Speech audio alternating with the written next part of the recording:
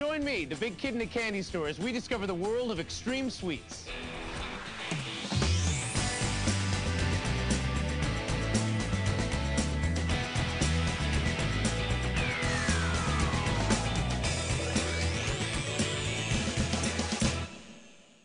I'm off to check out another destination that is making candy you can't eat, and some you might not want to.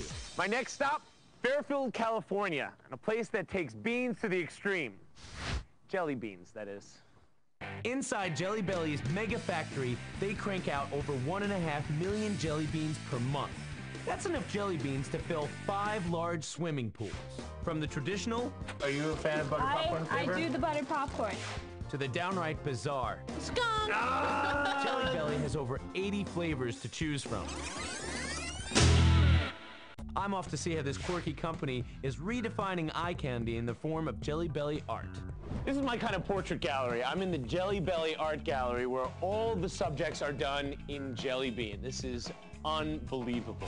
When it comes to Jelly Belly art, Lisa Brasher, whose father Herman is the owner of Jelly Belly, is quite the connoisseur. Look at this over here. You got American Gothic. Yes. How many jelly beans does it take to make something like this? This is about 10,000 Jelly Belly jelly beans.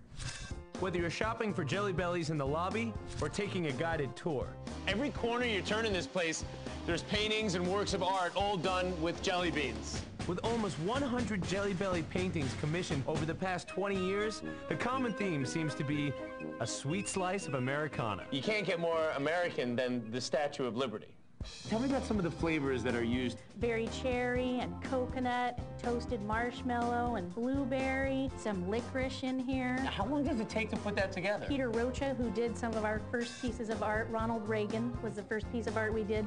It took him about six months. Unbelievable. Now, this is probably going to be my favorite one here. I'm a huge, huge Arnold fan. Made from almost 11,000 jelly beans, this portrait of the Governator includes berry cherry, caramel apple, and blueberry jelly bellies, just to name a few.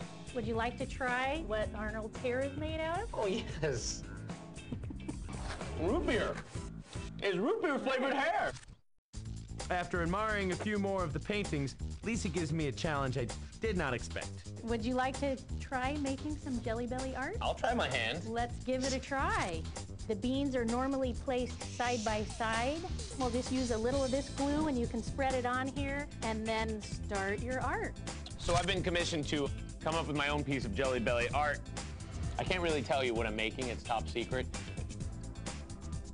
Keep in mind that a lot of these pieces of art take like six months, and I have a day. Judging by the number of beans still left to go, it's obvious I'm going to need a little help.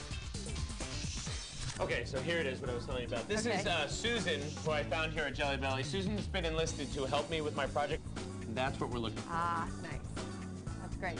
Okay, Okay. I think I can do it. Okay, I'll be back. All right, thank you. I'll bring you some Jelly Bellies. Okay. With my top secret jelly bean art project underway, I'm off to see how these unconventional art supplies are made.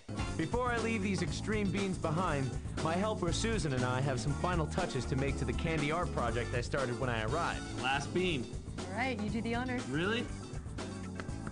It's beautiful. There it is. But is it good enough to be immortalized in the Jelly Belly Art Gallery? So uh, this is a little project we've been working on. Let me know what y'all think.